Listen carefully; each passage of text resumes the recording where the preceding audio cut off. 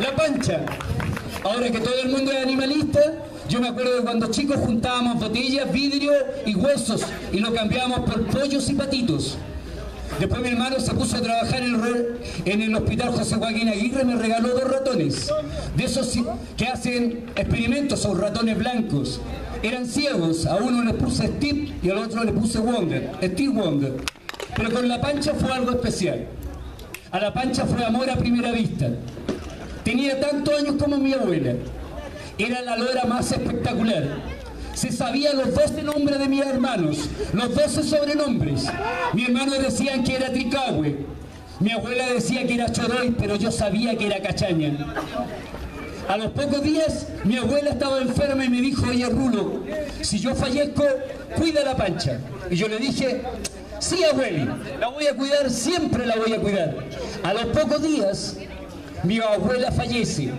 Los vecinos, adivinen a quién le da, pasaban a darle el pésame. A la pancha. Ese día la pancha se puso a tomar vino tinto con, panama, con pancito y empezó a contar muchas anécdotas de mi abuela, que se habían venido en el Winnipeg, en el barco de allá de España de Pablo Neruda, que habían pertenecido al GAP, al grupo de amigos personales de Allende que la Pancha le había escrito el último mensaje de Allende antes de que cayera el golpe de Estado con la pancha era algo extraordinario. Era adicta a la lectura. Yo cuando volvía del pedagógico encontraba todos mis libros desordenados, me di cuenta. Fue la primera lora en pertenecer a la Real Academia de la Lengua. 40 idiomas, 80 dialectos. Ese año me tocó dar la prueba de académica. Adivinen quién ganó el primer puntaje nacional. La pancha. Entramos al pedagógico. ¿Quién ganó el centro de alumnos del pedagógico? La Pancha. La Pancha tenía una oratoria, tenía una pasión que decía, a la calle, a la calle, a botar el muro, a botar el muro, a pegarle a los pacos, a pegarle a los pacos. La Pancha era espectacular. Mis compañeros me decían, ¿por qué no te invitas a la pancha? A mí me daba ya envidia, me daba vergüenza esa lora. Le daba pititos, sobre todo las más espectaculares. Pero siempre yo recordaba cuando mi abuela se enojaba, le decía, no te hagas el tonto Francisco Javier. En la pancha, la CNI la empezó a seguir. La torturaron, le sacaron casi todas las plumas. La tiraron cagando ahí al pedagógico.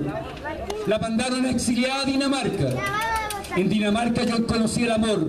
Una danesa, tres metros de alto, ojos azules, colorina, rubia, no era colorina. Lo espectacular que vivía al lado de un lago y de un bosque. Al principio fue amor, apasionado. Después pasaba más tiempo con la pancha que conmigo. Después tuve que recurrir al famoso tribunal de la Haya, el famoso caso Pancha. Me lo devolvieron, volvimos a Orcón, hicimos una pareja de dúo.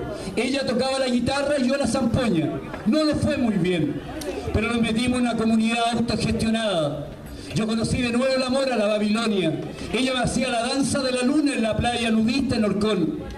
Oh, la pancha seguía en la volada, plantaba girasoles, semillas de cannabis. Oh, le gustaba fumarse unos canutones. Siempre seguía en la volada la pancha. En uno de esos días, vuelvo a la cabaña, está todo desordenado. En la ropa interior, justo en ese calzoncito que más me gustaba de la Babilonia, ese de flores, encontré una pluma verde. Y en ese instante recordé las palabras de mi abuela. No te hagas el tonto, Francisco Javier. Gracias.